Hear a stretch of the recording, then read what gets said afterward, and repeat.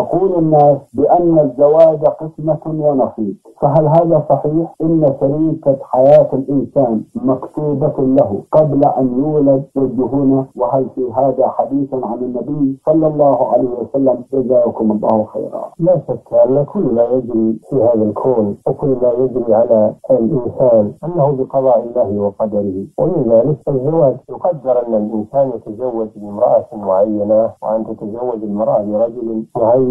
هذا في قضاء الله وقدره ما من شيء يقع ويجري إلا وهو في قضاء الله سبحانه وتعالى. قال تعالى إن كل شيء خلقناه في قدر وجاء في الحديث صحيح لما ذكر صلى الله عليه وسلم لما ذكر جبريل للنبي صلى الله عليه وسلم أو لما سأل جبريل رسول الله صلى الله عليه وسلم عن الإيمان قال أن تؤمن بالله وملائكته وكتبه ورسله واليوم الآخر وتؤمن بالقدر خيره وشره. قال سبحانه وتعالى وخلق كل شيء قدره تقديرا.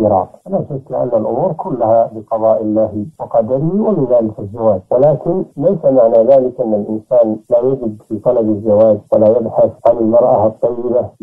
بل عليه أن يبذل الأسباب. فيجد في طلب الزواج. وأيضا يلتمس الزوجة الطيبة كما قال صلى الله عليه وسلم اغفر بذات الدين سيدة يداك فبذل الأسباب هذا أمر مطلوب. والمقادير بيد الله سبحانه وتعالى. ونحن علينا بذل الأسباب. وإن كانت الأمور مقدرة بقدر الله سبحانه وتعالى نعم جزاكم الله خيرا وأحسن إليكم.